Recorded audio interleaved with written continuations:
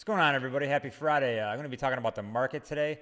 It's looking like it's taking a turn for the worse. I hope not, but if it is, we have to be ready. So we need to keep an eye on the market. So when we do make swing trades, we know what's going to be good or not. So just like to remind you to subscribe to my channel, hit the bell to get the notification on this video and other swing trades that I'm putting out.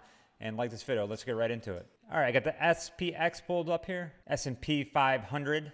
This is what a lot of people have their 401ks in. So I always like to look at this when I'm looking at the market because it gives me insight of what's going on. It's a little over 500 companies in the stock market. So it puts them all together and it spits it out here on the chart. You can see what happened in October. It just dumped straight down. And then we've been on a nice uptrend and I got a channel here that has been going up. And I've been seeing this coming for a while now. This resistance right here is going to be a very hard one to break. And sure enough, when it was going in this upward channel, it hit the resistance, stayed above it for a little bit, then it just spit it right back out. And then today it broke through the other resistance at 27.33. Zoom in here a little bit.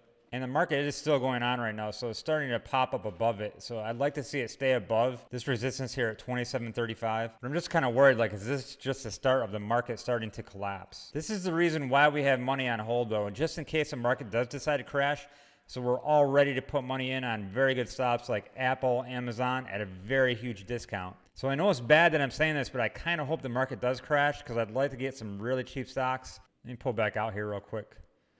So this might be starting to form a head and shoulders. You can see here's one shoulder right here, and this would be the head. And then it might do the other shoulder right here. So it might be starting to do that. So I have a feeling we have a little ways to go before if this thing is going to crash. I just want to pull up RDFN. This is the swing trade I did last here. So this is Redfin Real Estate. I personally got out of the swing trade because the market is starting to take a turn for the worse. And when the market goes, real estate goes with it. So I really don't want to be anywhere near this stock. So yeah, so if the market is going to start to crash, don't be afraid. I got some perfect stocks for this. You know, gold's always safe. And I also got some uh, Bear 3X ETFs that are going to be pretty good.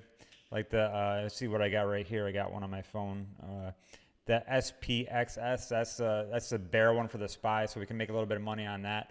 But uh, just going to keep an eye on it. And if it starts to drop, it's going to drop hard. But I think we got a little bit of time before that's going to happen. Like I said, I think it's forming a head and shoulders.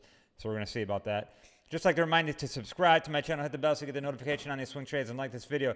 Uh, anybody want to make any money out there? Huh? Well, the stock market is crashing. Somebody's got to make some money, so let's do it.